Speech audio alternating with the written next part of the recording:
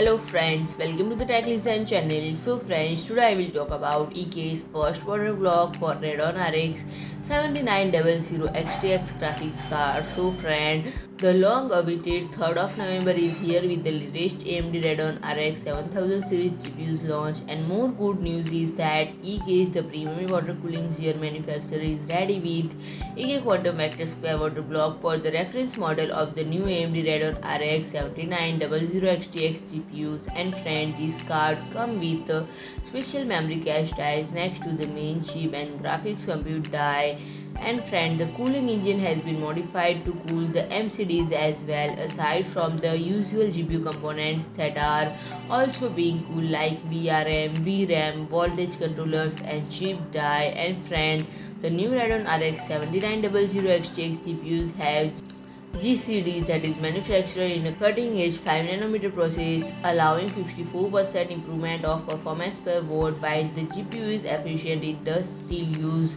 more power than the previous generation and trend at 355 watt total watt power that is packed in a smaller package than ever and trend with 300 mm square GCD that contains 165% more transistor per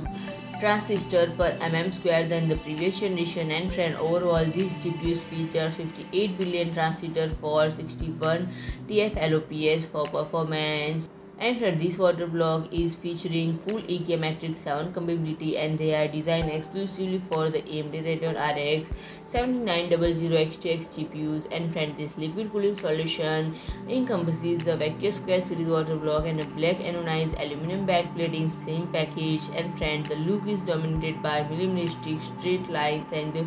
backplate cooling around the side of the GPU to cover the PCB in its entirely and friend the cooling engine for this water block has been rotated to 90 degrees so the fins are perpendicular to the die and the optimal delta. The coolant flow over the graphics card die first and the memory cache die after and friend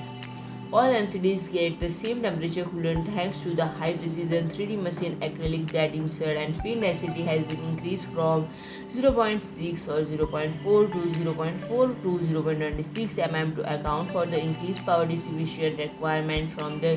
new graphics code die and 6 MCDs. And friend if I talk about the pricing, it is priced at 239.90 euros. So friend if you like my video, Please do like, share and comment and don't forget to subscribe my channel and press the bell icon.